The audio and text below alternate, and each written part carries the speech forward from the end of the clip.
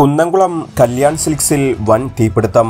കല്യാൺ സിൽക്സിന്റെ മുകളിലത്തെ നിലയിൽ ഇന്ന് പുലർച്ചെ അഞ്ചരയോടെയാണ് തീപിടുത്തമുണ്ടായത്.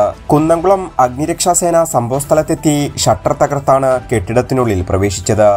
രക്ഷാപ്രവർത്തനത്തിനിടെ അഗ്നിരക്ഷാസേന ഉദ്യോഗസ്ഥന് ദേഹാസ്വാസ്ഥ്യം അനുഭവപ്പെട്ടതിനെ തുടർന്ന് ആശുപത്രിയിൽ പ്രവേശിപ്പിച്ചതായാണ് വിവരം. സംഭവത്തെ തുടർന്ന് ജില്ലയിലെ വിവിധ അഗ്നിരക്ഷാ നിലയങ്ങളിലെ യൂണിറ്റുകൾ സംഭവസ്ഥലത്ത് എത്തിയിട്ടുണ്ട്. തീപിടുത്തത്തെ തുടർന്ന് കുന്നംകുളം നഗരത്തിൽ പുക നിറഞ്ഞു. കല്യാൺ സിൽക്സിന്റെ മുകളിലത്തെ നിലയിൽ നിന്നാണ് പുക ഉയരുന്നത്. ഷോർട്ട് സർക്യൂട്ടാണ് തീപിടുത്തത്തിന് കാരണമെന്നാണ് പ്രാഥമിക നിഗമനം. കുന്നംകുളം അഡീഷണൽ സബ് ഇൻസ്പെക്ടർ സന്തോഷിന്റെ നേതൃത്വത്തിലുള്ള പോലീസ് സംഘം സംഭവസ്ഥലത്തെത്തിയിട്ടുണ്ട് അസിസ്റ്റന്റ് സ്റ്റേഷൻ ഓഫീസർമാരായ അനിൽകുമാർ ബെന്നി മാത്യു അഗ്നിരക്ഷാ സേന ഉദ്യോഗസ്ഥരായ സതീഷ് ശരത് ജിഷ്ണു വിമൽ എന്നിവരുടെ നേതൃത്വത്തിലുള്ള അഗ്നിരക്ഷാസേനാ സംഘം തീ അണക്കാനുള്ള ശ്രമം തുടരുകയാണ്.